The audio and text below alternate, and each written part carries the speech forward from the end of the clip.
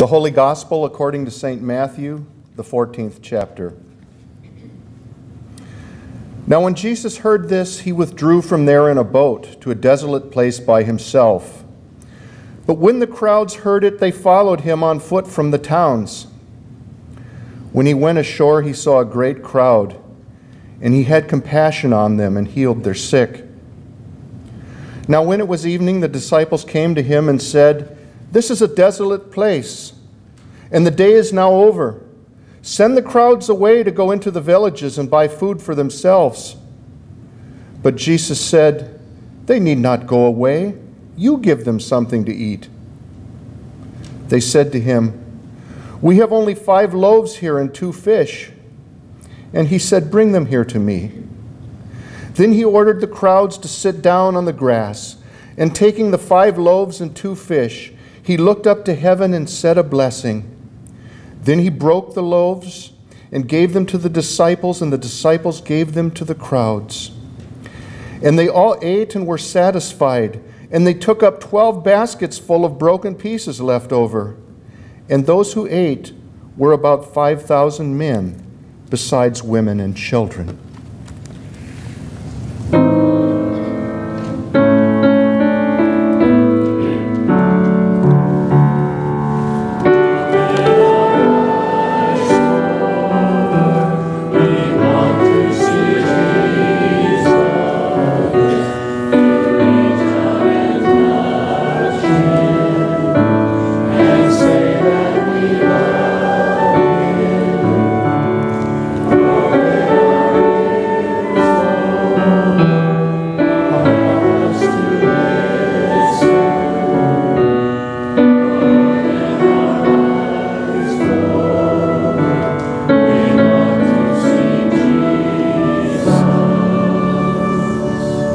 Please be seated.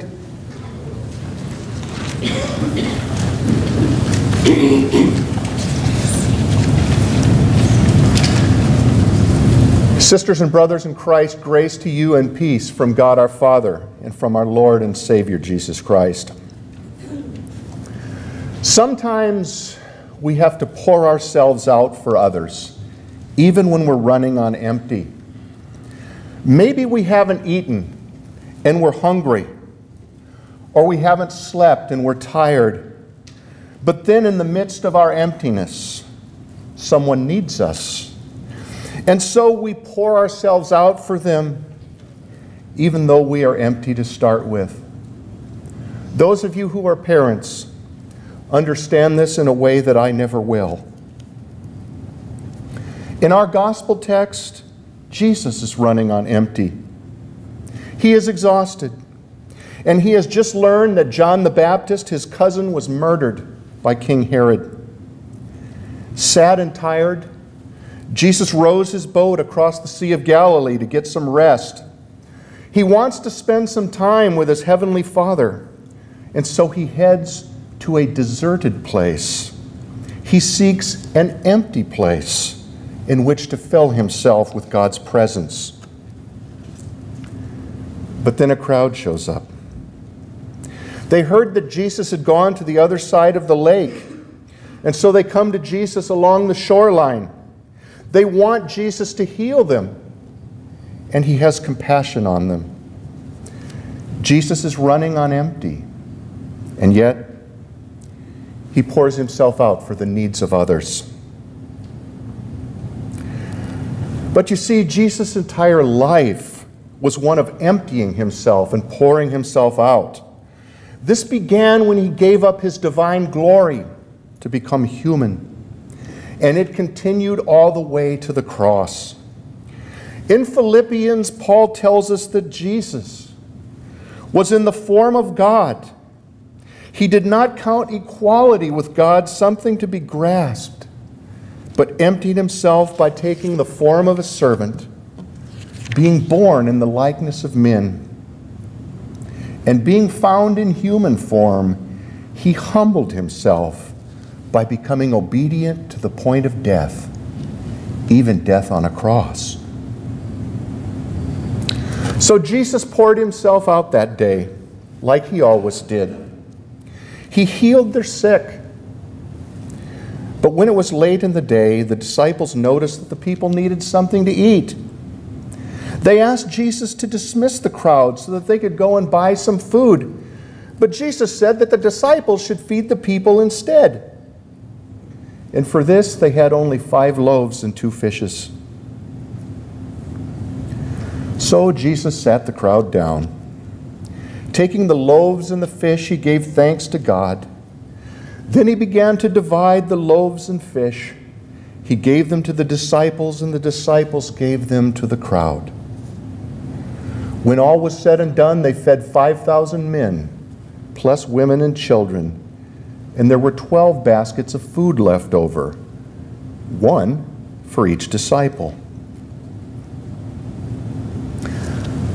Well, what are we to make of this? Was this just another miracle?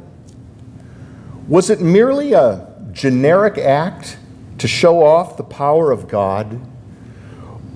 Or does this miracle have a deeper meaning? I believe that it does. And to discern this meaning, we have to go to the Old Testament. After the fall, God told Adam and Eve that they would surely die. He also said that they would earn their food by the sweat of their brow. So when Jesus healed the sick and when he fed the crowd, this was a sign. It was a sign that Jesus was the Savior who would destroy the curse. He was the seed of the woman who would crush the serpent's head. You see, in healing the sick and feeding the crowd, Jesus showed himself to be the living Word of God. The Bible tells us that God's Word is living and active. This Word creates the world out of nothing. And because it can do that, it can also make bread in the desert. And so it is that God's Word sustains us because it is this very Word that gives us our daily bread. As Moses told the Israelites, man does not live by bread alone, but by every word that proceeds out of the mouth of God. And Jesus is the incarnation of this word. But feeding the 5,000 also reminds us of the manna that God provided for the Israelites. As the manna fell in the desert, so Jesus fed the 5,000 in a deserted place. And so we see that Jesus' provision of bread recalls God's provision of manna.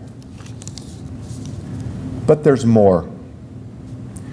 This miracle shows us that Jesus is the living bread, the new manna, fallen for the life of the world.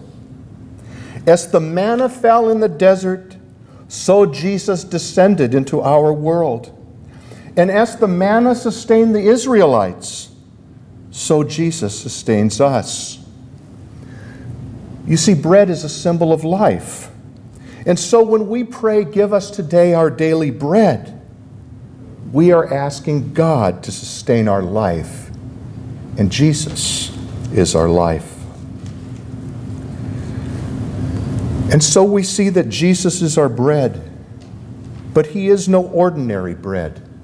He is the life giving bread from heaven. The Israelites ate the manna and died. The 5,000 ate the loaves and fishes and died. But Jesus is the living bread. Those who eat his flesh and drink his blood will never die. And so the feeding of the 5,000 shows us how Jesus comes to us. He comes through word and sacrament. In his word, he comes in the fullness of his power.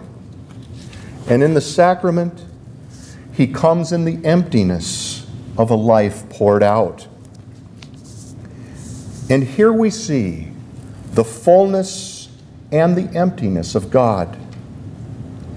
As our Creator, Jesus is the living Word of God who projects His fullness into the world. And as our Savior, He is the living bread who empties himself out that we might be full. And now may the peace of God, which passes all understanding, keep your hearts and minds in Christ Jesus through the power of the Holy Spirit. Amen. Please rise for